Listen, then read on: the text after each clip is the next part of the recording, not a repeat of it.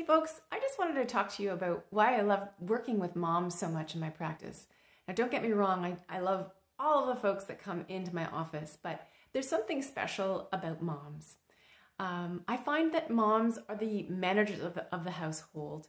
Uh, they organize things, they book appointments, they meal plan, they make the meals. They often are the emotional support for the family.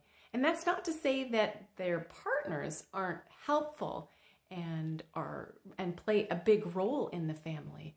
But it just so happens that moms tend to be, as I like to call it, the, the, the glue of the family, and they help the family unit run.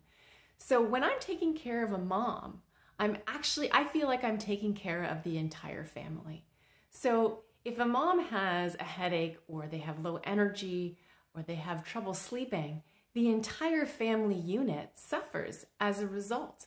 Because when you're not at your best, then you aren't, you're not planning and coordinating. You're maybe not spending as much time thinking about meals, uh, planning meals, grocery shopping. You just don't have the energy to do that. So when a mom comes in and we make some profound changes in her health, I feel like I'm making an impact for the whole family, for the children and for the partner. In some cases, mom decides to bring in the rest of the family.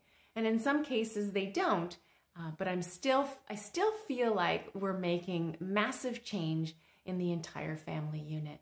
So if this resonates with you, if you are suffering with something, if you are having headaches, if you are having some chronic pain, I urge you to take care of yourself. If you have any questions at all about my approach, just send me a direct message and we can see if my office is a right fit for you.